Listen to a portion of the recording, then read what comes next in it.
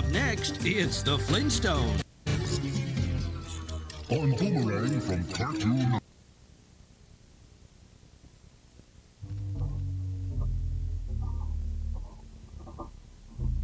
Thank